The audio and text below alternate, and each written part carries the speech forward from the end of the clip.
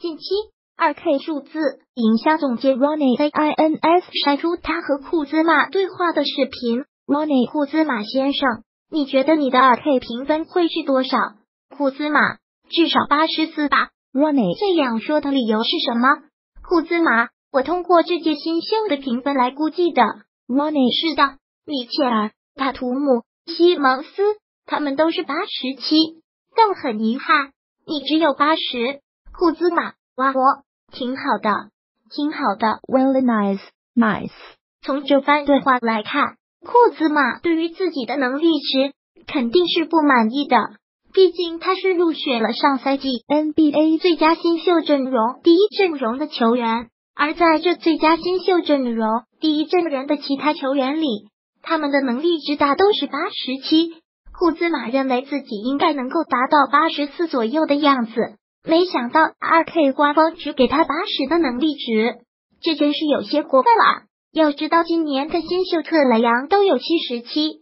库兹马是二零一七年 NBA 选秀大会上的第二十七顺位球员，在湖人队起初他也并不受重用。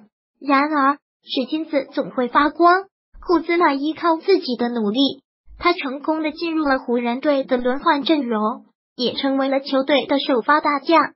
在上赛季结束后，库兹马也入选了联盟的最佳新秀阵容第一阵容。毫无疑问。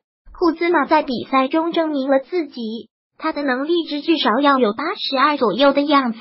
但是二 K 官方竟然只给他如此低的能力值，不得不说，他们有时候就是在瞎搞，有很多地方是让人不信服的。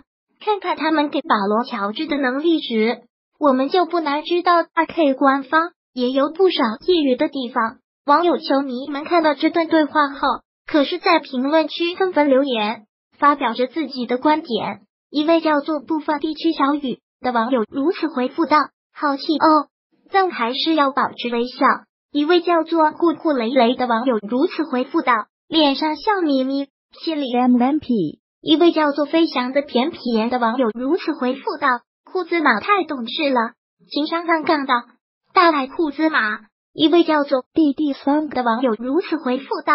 尴尬又不失礼貌的微笑，网友球迷们的回复还是很精彩的。有菜，下赛季的湖人队很有可能会杀入季后赛。库兹马在下赛季会有什么样的表现，还是很让人期待的。